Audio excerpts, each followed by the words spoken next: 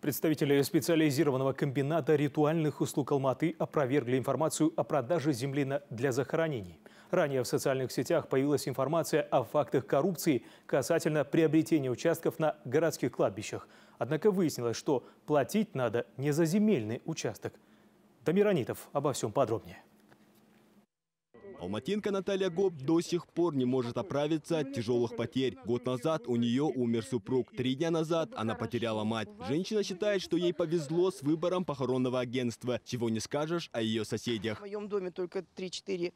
Вот мы похоронили с, нашего подъезда. И мама и дочка ум- умерли недавно, два месяца тому назад. Ушли из жизни по ковиду.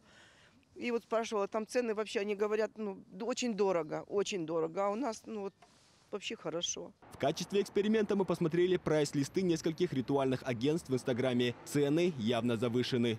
Хоронить людей нынче дорого. Перевозка на катафалке, венки и прочие атрибуты влетают в копеечку. И это не считая ритуальные памятники, которые по самым скромным подсчетам стоят от 50 тысяч тенге. А вот ритуальщица Татьяна Миготина рассказывает, что работает строго по протоколу Акимата. По ее словам, наживаться на горе других – грех. Есть фирмы, конечно, которые наживаются. И это очень печально, это больно.